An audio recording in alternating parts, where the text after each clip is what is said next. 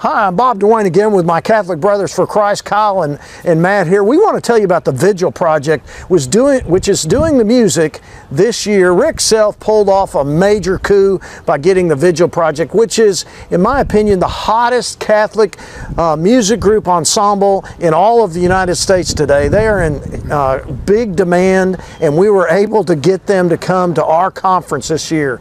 If you want to be fired up, Google the Vigil Project and just listen to one song and you'll say, I've got to be there. This ensemble group, they uh, this isn't just hard. Uh, they play the violin, they, all these musical instruments, their voices are incredible. They will spiritually talk to you. The, Matt and Kyle are going to tell you two special things they're going to do at our conference. They've also agreed to play the music at our at our ending mass to the conference, which will be at five o'clock. So right after the conference is, as, as it's ending, we're going to have a mass, and they're going to play the music at that, and then they're going to uh, play a free concert for us afterwards. And all I can say is when they do that free concert, um, you want to invite your family. You want to have your wife there. You want to bring your kids. You you do not want them to miss this concert.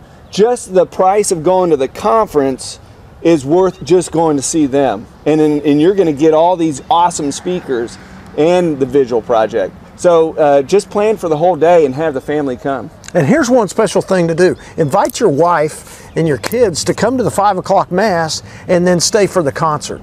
It's a men's conference till the Mass. The Mass is open to everybody and the concert is open to everybody. So we'll see you on April 21st, 2018 at North Texas Catholic Men's Conference. God bless you. And we'll see you there. Looking forward to it.